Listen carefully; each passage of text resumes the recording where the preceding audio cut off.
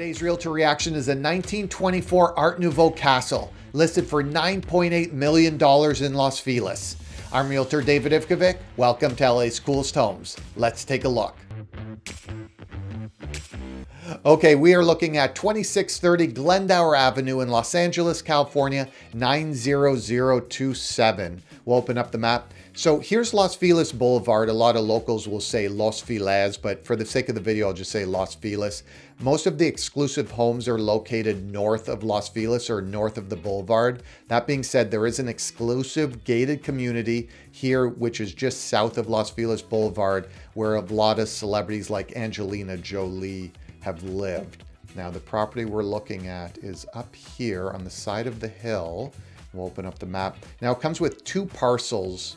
Uh, so I think this second piece of land here comes with the property. So it's this massive piece of land and it makes up 1.71 acres. So you could build a secondary home or a guest house here if you wanted. Okay, we'll take a look at the description. Almost two acres of gardens and landscape surround celebrated architect A.F. Leicht's grand Art Nouveau mansion overlooking panoramic city views from downtown to the ocean. Indescribable interior details emanate from Egyptian-inspired geometric pillars and repeating arched passageways overlooked by curved gilded ceilings. Okay, let's dive into the photos. This home is incredible. I just love looking at these 1920s golden age of Hollywood homes, and this one's no exception.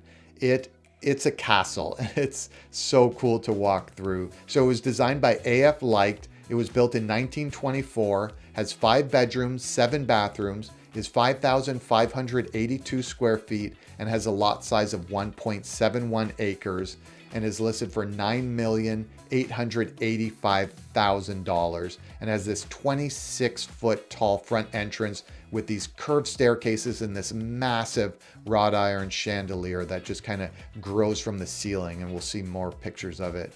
This huge front living room with this dome ceiling. These are Art Nouveau picture windows that overlook downtown LA.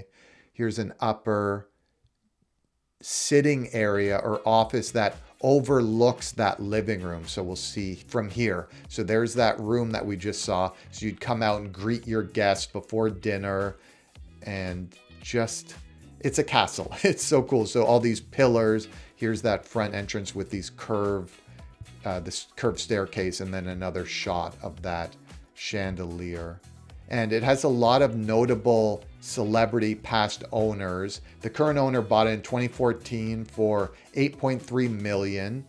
And at one time in the 60s, it was owned by a famous actor who would, to make money, rent rooms in it to people such as Bob Dylan and Andy Warhol, and at one time Flea from the Red Hot Chili Peppers owned it. Here's the dining room. It feels, yeah, you're totally in a castle with these massive, all the stonework on the ceiling and the walls, big, huge windows.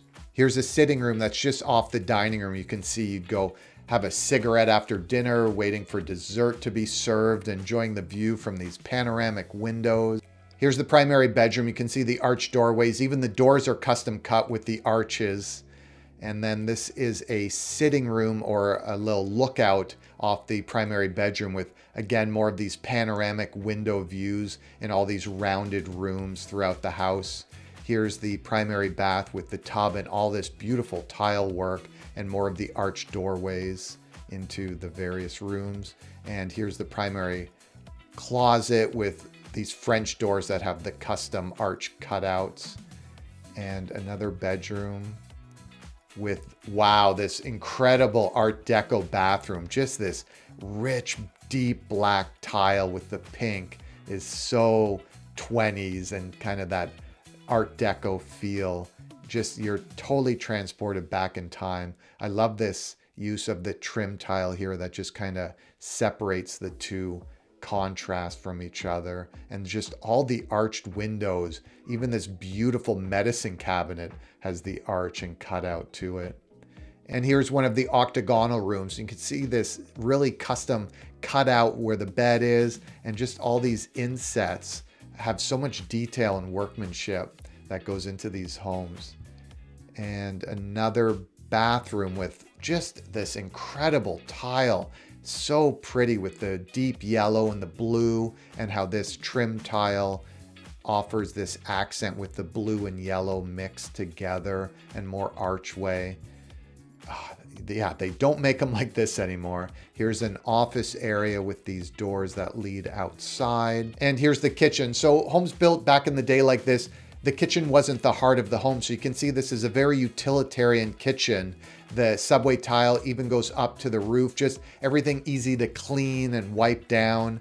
The butcher block counter throughout, massive hood fan, the big stainless steel Viking stove, but very purpose built for the workers or the help to cook for you. This wasn't where you would go and entertain nowadays where you have these big open concept kitchens. This is, you know, not to be seen by your guests. And another shot of these big windows out and a little sitting area. So the breakfast nook too, it's small. So your servants would sit here and eat. This wasn't for the family to really sit and eat they would probably have another more formal eating area or would eat in the dining room. Here is a yoga studio they built with the punching bag and another uh, sitting area. This is that watchtower that we saw. So it leads out to the rooftop deck. So you can see this 360 degree watchtower at the top of the property that overlooks Griffith Park and downtown LA there, and then the ocean off to our right or west. And a basketball court and the manicured grounds with all the cacti. Here is the guest house. So it has a guest house on the property. This you can see is a bit more subdued, not as grand. Uh, doesn't have all the or arch doorways. So this could have been built at a later time. Here's some of the meandering trails that surround the property and just lots of landscaping. So you'll have your gardeners working day and night on this property. And that's it. So there's the wrought iron gate up to the front driveway or courtyard and these old vintage lights. Yeah, just going back in time, these are pretty interesting properties to see. It's amazing that they've just been kept up and people you know, respect these homes and want to maintain their originality and charm. Well, thanks for watching. I'm David Ivkovic. Make sure to like and subscribe and join me next time as we tour more of LA's coolest homes. Take care.